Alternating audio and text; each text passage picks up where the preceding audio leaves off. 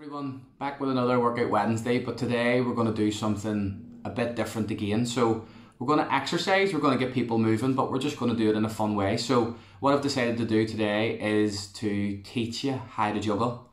I only learned how to juggle last year. It was something I thought I could never do until someone showed me how to do it and it's one of the most satisfying feelings in the world and it's actually quite therapeutic because it makes you just think about juggling so if you're ever stressed or whatever it's a great tool to wake up your brain and, and help you refocus yourself okay so what i'm going to juggle with is three oranges so if you have apples in the house um, as, as, as long as you don't drop them preferably juggling balls if you have them but three objects it's basically the same size um, that you can throw and catch. Okay, so I may get in a bit of trouble if I if I drop these. I might have to eat them all, but sure, they're good for you anyway. Okay, so um, to start off, we're going to start with two, and then just move around.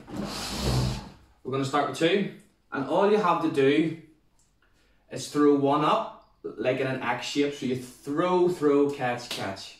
Okay, so come a wee bit closer. So it's throw, throw, catch, catch. So throw, throw, catch, catch throw, throw, catch, catch.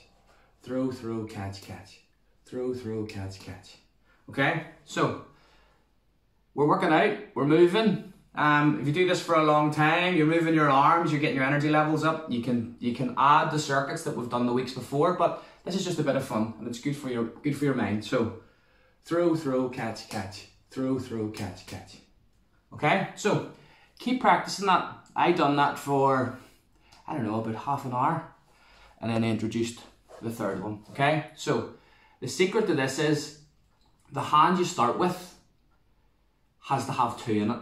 Okay, so what we're going to do now is we're going to go throw, throw, throw and catch. Okay, so it's the same rhythm, only there's another one in. So try not to focus on the third one. Just keeping the doing the throw, throw, catch, catch, throw, throw, catch, catch. Okay, so here we go.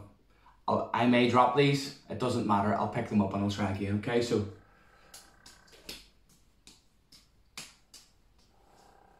Hey, okay, so throw, throw, catch, catch. I can't even keep up, okay? If you get really good, when you start off, you'll find that you're moving around the room. When you get pretty good at it, you you should be able to stand in the one spot and juggle. Okay, so this week, we're not doing press-ups, we're not doing squats, we're not doing wrestlers kick-throughs, we're just juggling. We're moving, we're getting our energy levels up, and there's not a more satisfying feeling, I promise, than learning how to juggle. It might take you one day, it may take you two days, it may take you to next week's workout Wednesday to work at it.